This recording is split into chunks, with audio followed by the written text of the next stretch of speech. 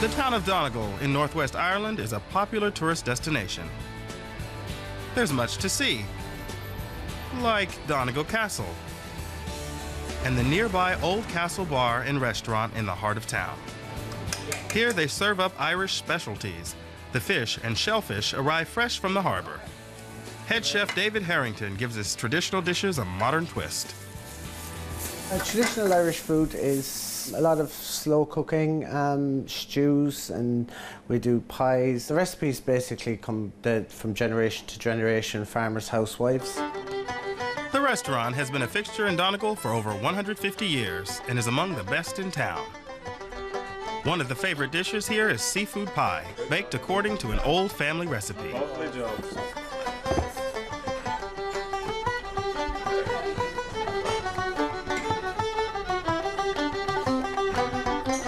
Seafood pie is, is comfort food.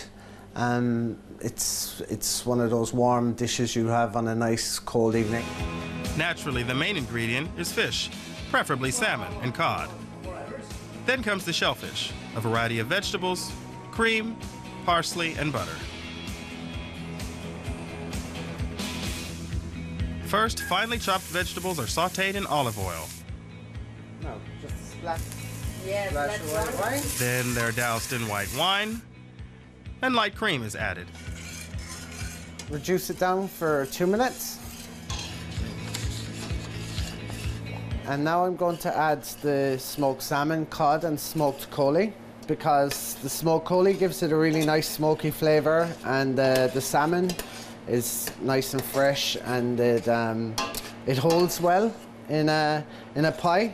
It doesn't crumble up too much. And cod is a nice flaky fish. Next, the mussels and prawns are stirred in. You could add another kind of fish instead, like pike, sea bream, or ocean perch. Fresh catch is delivered daily. Most fishermen set out from the harbor in nearby Killybegs, bound for the Atlantic. Smith Campbell's been a fisherman for over 30 years. General angling, we go out and we catch mackerel for bait fish. And after that, then we go and fish for pollock. There's some very fine pollock, also cod. For his seafood pie, David Harrington mashes boiled potatoes with butter, milk, and green onions into the potato puree. Harrington loves to cook. In his youth, he copied his grandmother's recipes.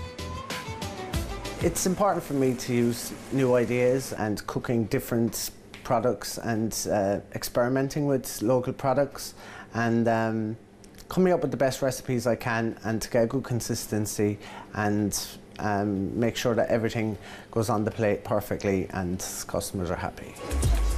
Now the fish and vegetable mixture is spooned into an oven-proof dish.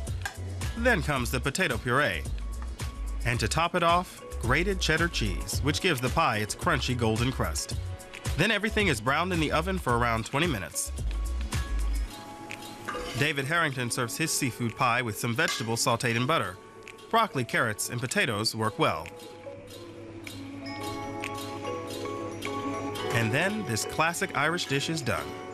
You have your vegetables and your mashed potatoes and your fish um, all in one, and it, it's a meal in itself.